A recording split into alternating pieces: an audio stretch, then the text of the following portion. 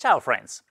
In this video I want to show you how to use uh, the All Selected modifier in Calculate. Let's start with the scenario. I have uh, a report that is showing the color, the sales amount and the percentage of uh, this amount against the grand total. This measure is currently computing its result using remove filters. So it's doing a division of sales amount by calculate sales amount, remove filters product color.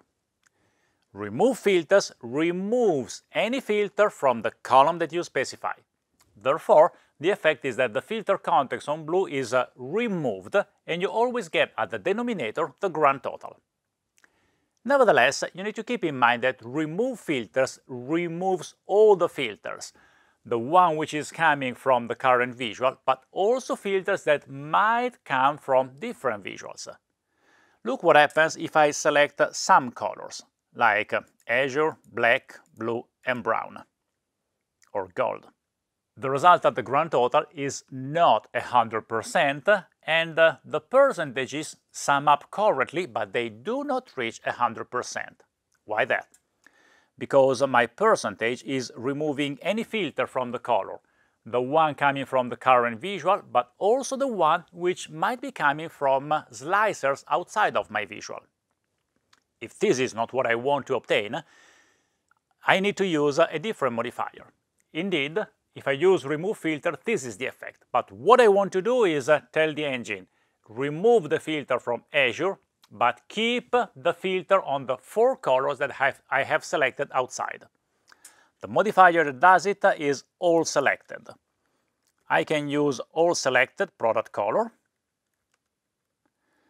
and all selected will remove this filter and keep the outside filter. As soon as I hit enter, you will see that the percentages will change.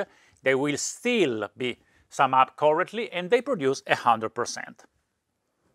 All selected is useful whenever you want to keep outside filters and remove filters from the current visual. All selected right now is working at the column level, so I'm using all selected on one column only.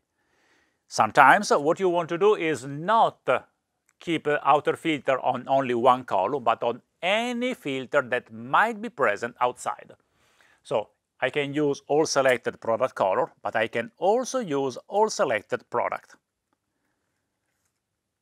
The result is that I go from a column filter to a table filter. I fill all the filters on the product color and uh, I remove only the filters on any column on the product table which is present in the current visual.